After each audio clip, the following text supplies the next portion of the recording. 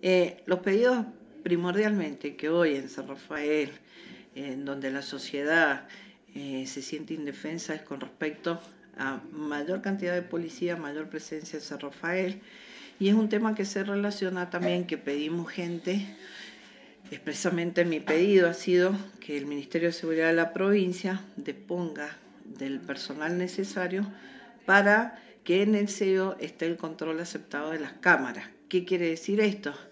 Que hay aproximadamente 50 cámaras de seguridad funcionando y que una sola persona sentada frente a estos monitores eh, no puede estar observando cada una de las secuencias. no solamente necesitamos más efectivos de seguridad, sino que necesitamos efectivos de seguridad dentro del SEO que estén observando las cámaras a los efectos de que una sola persona se le hace imposible o dos personas mirar 50 cámaras en forma rápida.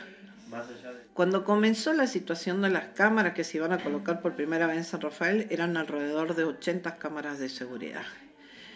Eh, las que tienen, las que sufren rupturas es porque no está la plata para el arreglo de las mismas o que tampoco se hace la licitación para el arreglo y en total aproximadamente están funcionando unas 48, 50 cámaras de seguridad. Se ha pedido que se repare y se ha pedido en la inmediata. Por ejemplo, hay vecinos, hay vecinos, por ejemplo, te nombro, hay un vecino de la calle Roca en donde colocaron eh, cámaras de seguridad donde las cámaras se han eh, roto y las retiraron. Hasta el día de hoy las cámaras de seguridad fueron compradas por los vecinos, no ha sido colocado nuevamente.